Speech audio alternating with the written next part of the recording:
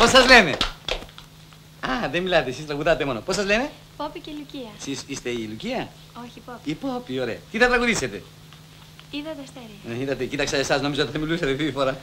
Είδα τα αστέρια, πολύ ωραίος τίτλος. Και εγώ νομίζω ότι βλέπω για πρώτη φορά δύο αστέρια και είμαι σίγουρος ότι τα αστέρια αυτά θα κάνουν καριέρα.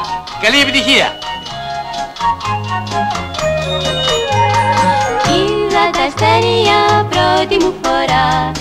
Μια τρελή χαρά μου γέμισε τριάντα φύλλα τα χέρια. Α, είδα μια χτίδα μες στη συννεφιά κι τόση μαγευτιά λίγο χαμόγελο έγινε και ελπίδα.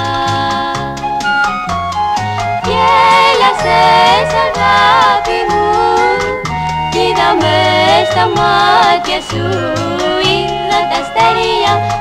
πρώτη μου φορά Και μια τρελή χαρά Που γέμισε τριάντα φύλλα τα χέρια Α, Πολύ ωραία, μα πάρα πολύ ωραία. Θαύμα. Είμαι ενθουσιασμένος μαζί σας.